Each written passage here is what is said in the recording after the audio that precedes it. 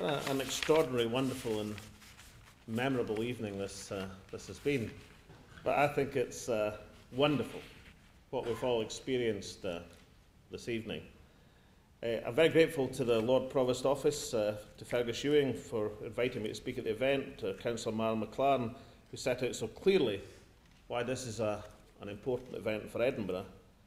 I particularly welcome Councillor Deirdre Brock's announcement of the library service. We'll be making Holocaust uh, Memorial Day, how they'll be marking that. This, however, is a, an important event not just for our capital city of Edinburgh, uh, but for our whole nation of Scotland.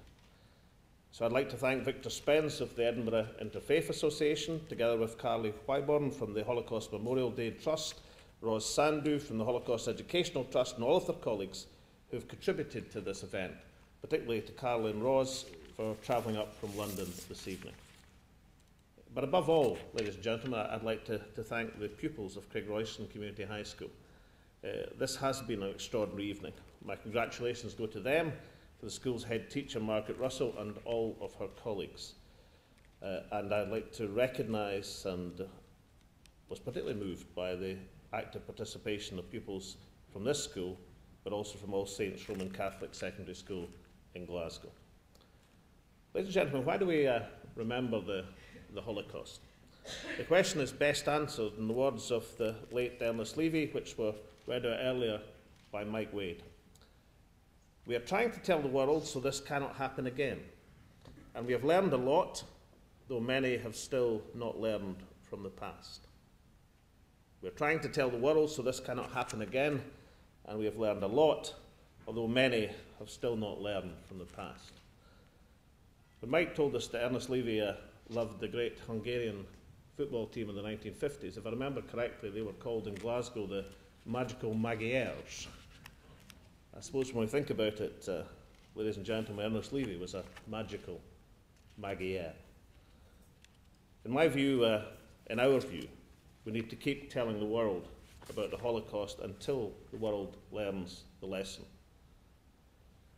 Six million Jewish people died at the hands of the Nazis. We remember them today, and indeed the millions of Gentiles who died with them. We also remember the genocides in Rwanda, and Bosnia, and Cambodia, and Darfur. But the origin, scale, and systematic nature of the Jewish Holocaust deserves the particular recognition we give it. The stigmatization of the Jewish people did not come from a historical void. It didn't begin with the rise of Adolf Hitler. For many centuries in Europe, Jewish people were in the minds of primitive Europe Christ killers who should be put to death by fire and sword. They were marginalized, persecuted, they were called names. Martin Luther, one of the, the great figures of European history, a man who is very well treated by history, of course, was venomous in his attacks on the Jews. Martin Luther used language like, quote, poisonous bitter worms to describe Jews. It is that language and attitude that led hundreds of years later to the Nazi factories of death. Language is hugely important. We heard uh, a few minutes ago how the state radio in Rwanda used the word cockroaches to describe the ethnic Tutsis in the early 1990s. Within days, millions of Tutsis lay dead in the street, hacked to pieces by their neighbours. So let's be mindful of language. Poisonous worms, cockroaches, Jew boy, packy, poof, spaz. They say sticks and stones can break your bones, but names can never harm you. But names, of course, lead to sticks and stones, and they do break bones, just as the burning of books leads to the burning of Jews.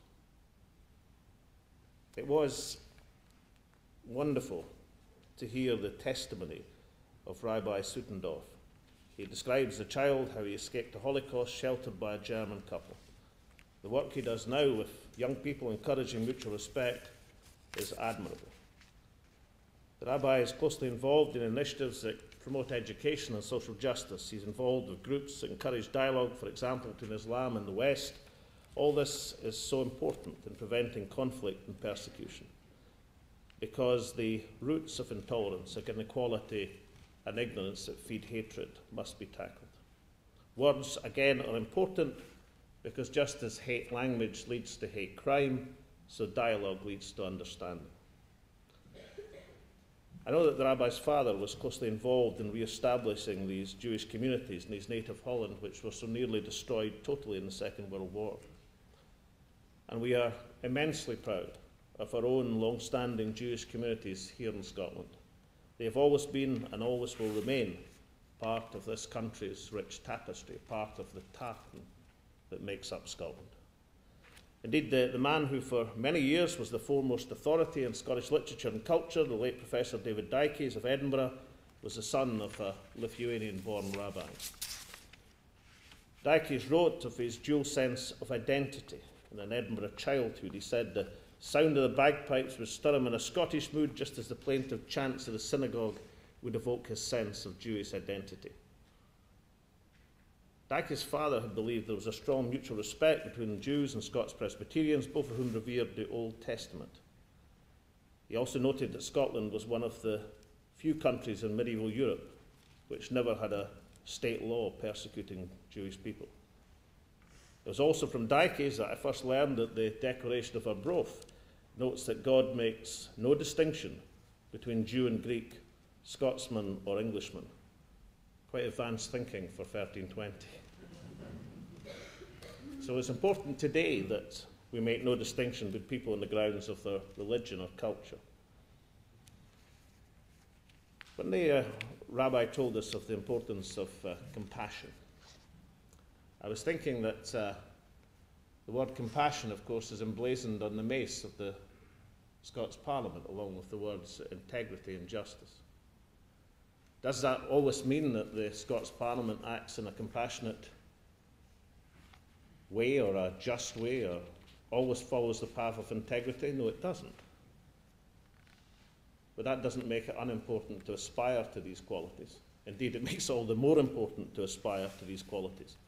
Does the fact that uh, Scotland through history has never had any anti Semitic legislation means that there are no acts of discrimination in Scotland today? No, it doesn't. Of course, it doesn't. But it means that we should aspire to see our self image as a nation as a nation which doesn't tolerate bigotry or discrimination. So that's why I'm so uh, glad that events for Holocaust Memorial Day take place across the nations.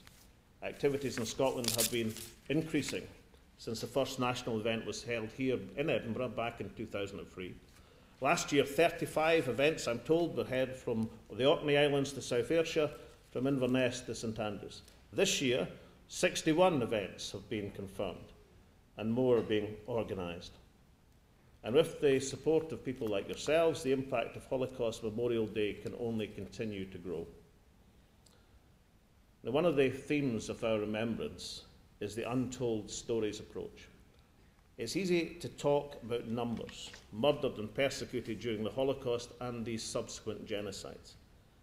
It's less easy to appreciate what these numbers mean they were individuals, mothers, fathers, children, a friend, a colleague, a neighbour. People who loved and cared and who were loved and cared about in return. There are millions, countless millions of stories we'll never know. But we can still honour the memory of those affected by genocide by taking a part in these untold stories. We can listen and learn, and we can tell others the stories we hear. The stories we were told this evening of what happens to gypsy travellers and in Rwanda were moving to hear and necessary to hear. They're not always easy to hear. But regardless of that, we mustn't shy away from these stories. We must learn from the past and the present so that things can be changed for the better. And just as the, the millions of victims are not a statistic, but individuals, so too are the hundreds of thousands of perpetrators. You see, the perpetrators were also fathers and brothers mothers, sisters. And one of the many lessons we learn from confronting the horrors of Holocaust is understanding that mobs and movements were made up of individuals. And we learn that each and every one of us as individuals has a choice. It's a choice we exercise every single day in what we choose to be part of and how we choose to behave. So let us leave here this evening resolved certainly to honour the memories of those who were victims of the Holocaust, do what we can to relieve suffering internationally, to play a full part in tackling discrimination in our own country, in our own communities. In the book of Revelation, uh, St. John the Divine witnessed the emergence of a new heaven and a new earth. In my religion, the accent is to not to wait to the emergence of the new heaven, but the task is for all of us to create the new earth. Thank you.